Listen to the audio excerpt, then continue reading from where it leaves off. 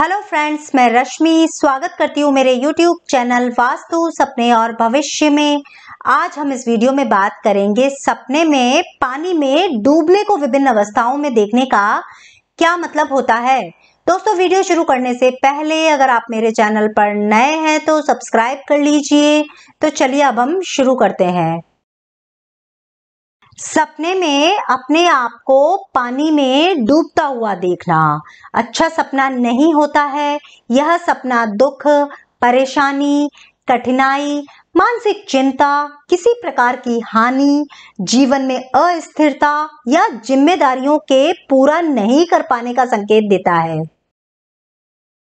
सपने में किसी और व्यक्ति को डूबते हुए देखना, आने वाले समय में स्वास्थ्य खराब होने, दुर्घटना या जीवन में किसी ऐसी परिस्थिति को बताता है जिसे आप बदल नहीं सकते और वो आपके नियंत्रण से बाहर है। सपने में अपने आप को डूबने से बचते हुए देखना या आपको कोई डूबने से बचा लेता है तो यह सपना भविष्य में कठिनाइयों, परेशानियों के समाप्त होने या उनका हल मिलने का सूचक होता है। साथ ही यह सपना बताता है कि आप जीवन में किसी ऐसी परिस्थिति में हैं जहाँ आपको किसी की मदद की आवश्यकता है।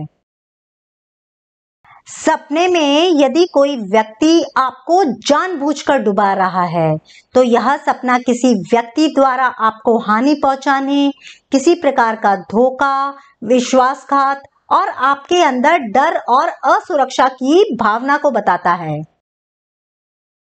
सपने में यदि आप किसी व्यक्ति को डूबने से बचा लेते हो तो यह सपना आने वाले समय में खुशी, प्रसन्नता संतुष्टि और अच्छे जीवन का प्रतीक होता है।